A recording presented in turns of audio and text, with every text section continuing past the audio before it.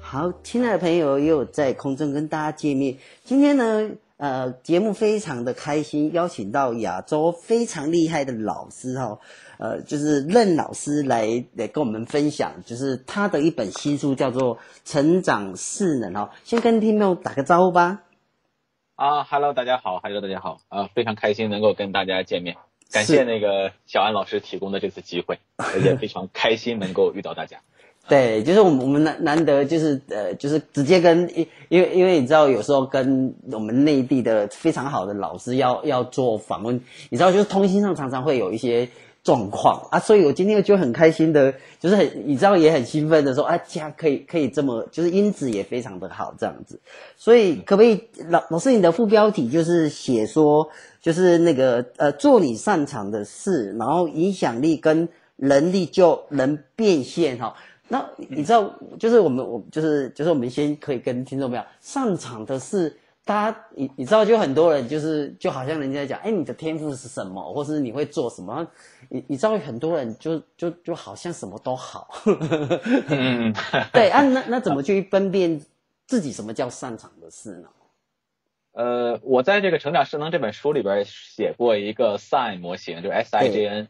我感觉可以用啊用这个模型，然后找一下自己擅长的事情。当然，找的过程中哈，还是我们要静下心来，要仔细想一想，到底说我们在哪方面是适合这个 SIGN 模型的。那这个 SIGN 模型是什么意思呢？它是分成四个字母，第一个叫 Success，就是成功，就是你做这个事情的时候啊，就是你觉得哎，我比别人做的更快。你看，同样是，比如说同样是做一个蛋炒饭，你看哎，发现我做这个蛋炒饭做的比别人更快，做的比别人更好，而且做完之后哎，比别人更好吃，所以它可能就代表着。说我在这个方面可能是做的比别人更成功的，啊包括写作呀，包括一些做短视频呀，所以这是第一个 success 成功。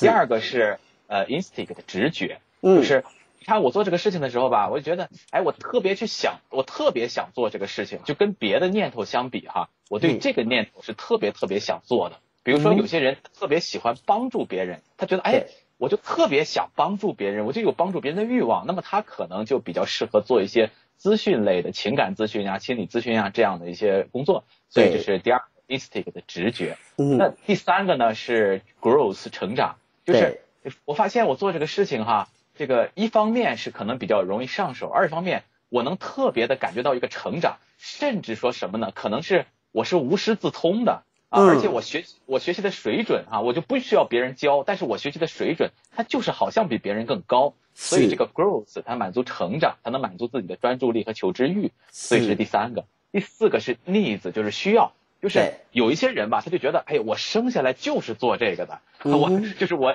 啊，就是 I'm born for this，我我天生生下来我就是做这个的。那可能如果呃如果有这种的感受的话，它也是一种呃一个代表说可能是我们我们做擅长的一个事情。所以总结一下呢，就是把这四个。条件如果都满足，我们也可以列个表格哈。我们每把把身边自己的每一件事，把这四个点：success 成功、instinct 的直觉、growth 成长和 needs 需求，分别打个分儿。那么打完分儿之后，我们可能最后啊，比如说我们觉得自己擅长做五件事儿，那么这五件事儿在在这四个维度上分别在一到十分之间打分儿。那打完分儿之后，可能会发现啊，原来这五件事里边，可能我最最最最擅长的，或者最最最最呃适合我的。是某一件事儿，然后呢，我们就能最后得出一个相对量化的一个结果啊，这就是方便某一些这个小选择困难症的人来使用啊，所以这是一个小技巧啊，我觉得可能呃这样呢更容易的发现自己的擅长。是是是，小安老师，哎，对对，我我觉得我觉得老师非的书里面非常好，就是他有一些模型跟一些步骤哈，我觉得其实听众朋友可以好好的按照老师的这个步骤或是方式来来进行哦。但是但是老师，我有另外一个问题想要问说，哎，就是我们做了这个模型以后，但是我们会不会因为你你知道吗？老师在教我们这本书是要变现能力嘛，对不对啊？但是有些人就是写了半天，然后就是好像呃就是。就呃，举个例子，像我一个朋友，然后你知道他写的文章就喜欢写文绉绉的，对，他就觉得说这这个才是写的他的，但是在市场上都看不懂他在写什么啊，对，但然后他就说这是这是要有一个层次的啊，所以所以他要呃，他要顾及自己的兴趣呢，还是说，诶，他把他呃白话文一点，让更多人可以呃，就是既然写文章，你要给人家看吧，对不对啊？你不能说我都写写，就是他就觉得说，哎，大师级就是要写成这这样子，对啊，所以他变现能力就很弱。那那到底他要怎么选择会比较好呢？我个人觉得吧，应该还是要顺应市场的需求哦，市场需求。对我们写东西吧，不能曲高和寡。我举个我个人的例子哈，好，就是我我当时在写第一本书和第二本书的时候吧，对我我第一我第一本书写的是职场，然后我就想吧，我是个职场高达人呢，我二十六岁就做人力资源总监了，而且是个百百亿级的企业，我说我的职场经验那肯定能告诉很多人一些一些东西吧，比如教给别人，但实际上呢市场反响很差。就是因为在大大大陆吧，这样的类似心灵鸡汤的书，其实是有方法，但是大家会默认你就是个心灵鸡汤，那你教别人怎么成长所以慢慢的，大家不不接受你。然后第二本书呢，我写的就是人力资源，我我想吧，那我是主做人力资源的，那我是不是？把我人力资源的一些方法论写出来呢，但是我第二本书想写什么呢？我不能写小白的东西啊。那我这么厉害的人，我是不是得写点那个高大上的呀？是不是？对，显著显著我个人能力，这种高屋建瓴的东西，是不是？是。所以我当时就是当时第二本书写的就是这样的东西，但是市场反响也非常的不好。为什么呢？后来我就反思哈，我就反思，第一个，我的擅长或者我最能给别人带来一个认知上冲击的一个 IP 的形象是什么呢？应该是。人力资源管理的专家，至少在当时哈是这样，应该是这样的专家。所以我想，那领领域和方向上，我应该选择人力资源管理，这是第一点。对。那第二点，我人力资源管理，我应该写什么呢？我应该写什么呢？我后来我经过第二本书，我发现你不能说你自己想写什么就写什么，因为这个东西是没有市场的，市场是不会认认可你的。你其实只是图自己的开心和自己的一种想象。所以后来我就我就我就调研市场说。市场上到底人力资源相关的应该是在哪个维度上或者哪个层次上写才行呢？后来我发现，我发现竟然市场上最需要的是小白类的知识，也就是，也就是很多哈刚踏入这个领域，我不知道该怎么干活，我需要一些非常浅显的方法和工具，让我拿来就能用的这样的东西。是，但是这些这些东西其实对于我来说，在我看来是简直是太 low 了，就可以解。可以理解成，可以理解成，就是他们需要小学的东西，但是我呢是在那个 PhD 的这个级别，所以在我看来说，我怎么可以给你写这些东西？这不显出显出我很 low 吗？嗯，所以我也经经历过一个很长时间的这么一个心理的调整和磨合。我想啊，对你最终你想做成，你想变现，你想让自己的能力真正的变成价值，既然你发现可能。这个在这个领域，小学的东西它就是一个最大的市场。那你为什么不俯下身子去做这个事情呢？是不是？所以后来我后来对后来我就想，我还是应该做这个事情。包括其实，在大陆有一位有一个很著名的企业家叫俞敏洪啊，他创造的企业叫新东方，就他是个教英语的。其实你说起来说，那俞敏洪你会干什么？他说我会教英语。那很多那那他没有做成这个企业之前，很多人就觉得啊，你不就是个英语老师吗？对，人家。也做成了，人家知道人家是个著名的企业家，是不是？人家的教英语只是说人家的一个变现的一个方式。所以我后来我也想通了，说我也不管同行怎么看我，我也不管别人怎么看我，我就是要顺应这个市场，把自己做大做强之后，那么做大做强之后，我再做一些高屋建瓴的东西。你看现在我就我就可以做这样的事情了。是现在我是啊，我的人力资源管理的出版物已经出了将近三十本了，就是人力资源管理，所以。它在基础小白里边，基础小白里边综合的也有，招聘管、招聘的、培训的、薪酬的绩效都有。然后呢，在中层的三到五年里边，我们有我们有这个技能提升系列，我们在这个高层里边有数据分析系列，然后包括也有针对 HRD 的这种的比较高层的系列。所以这个时候你也不用管别人怎么看你，你已经被市场认可了，那你再怎么做那就是你的事儿。但是刚开始的时候，你一定要做顺应市场，去顺应这个大势的这样的事情，要放下身段。要放下身段，要要让自要让自己去顺应市场，而不是让市场来顺应你。这个这个是我当时也也是真的是经历过经历过前期的一些失败和挫折之后，自己总结出来的这么一个小小的经验吧。对，我觉得老师说的非常的对哦，因为你你没有基础的流量或是基础的我们叫基呃基本的听众群的话。啊，你你写什么？其实你只是自己躲在角落，自己在那边写而已。但是但是我觉得老师是非常的好哦，就是刚才跟我们分享他的整整个心路，我觉得是可以让我们学习的。那老师可不可以来跟我们谈一下哈？就是呃，我想很喜欢老师谈到这个傻字哈。不过有听众就提问哈，呃，就是他经营的就是社群对不对？然后呢，就刚才我们讲的，就是好像好像你知道就是。呃呃，试呃试，你说试呃试调或是试言，对不对？哈，然后到底是要傻傻的这样经营下去呢，还是说，老师你觉得有什么样呃，就是给给就是他一些建议呢？嗯，好的好的，呃，这个傻这个字啊，我我本人也非常喜欢，但是呢，傻这个字我们得分两面看哈，一面是说我们要是要在战略和战术上，我们要是聪明的，我们要在执行上是傻的。我再说一遍啊，啊，我在我们要在战略和战术上是聪明的，也就是我们要先聪明一下子，然后让自己选择一个对的方式和方法，做正确的事和用正确的方式来做事。那么确定了这两个关键点之后，正接下来呢，接下来你要傻一点，你不能说我干着干着说，哎呀，我就又觉得那个挺好的，我又觉得那个挺好的，是不是？所以你战略战术上要经过足够的足够的这个分析。和思考之后，你发现说我做这个事情就是行的，那么接下来你可以傻一点，傻一点就是说不要再想其他的，我就好好好好的去执行。那么执行到我要做的这个事情做好了之后，我再去想其他的事情。所以我我个人说认为这个这个傻应该是这样的，咱们把这个把这个逻辑啊，对，给逻辑给给做好。那么呃，关于这个就是可能有一些朋友啊，他可能做了某一些自媒体啊，或者做某一些行业哈，他可能做着做着发现可能难以经营下去吧，嗯，或者说。啊或者或者说怎么样？我这里有一个有一个小的建议，就是你你要不要？你到底要不要经营下去？你到底要不要经营下去？我们先回到刚才说的这个战略战术上，要是聪明的哈。对。首先，我们从大方向上来看，从大方向上来看，就是你做这个事儿啊，它的经济效益有多大？嗯。或者说，它可能做到的经济效益有多大？什么叫可能可能做到的？就是我们首先来看一看这个行业之内，就你做的这个事情类似这个事情的这个行业之内。有没有做的比较大的，或者有没有经济效益比较好的？实际上，如果有的话，这说明你做这个事情可能是是值得做的。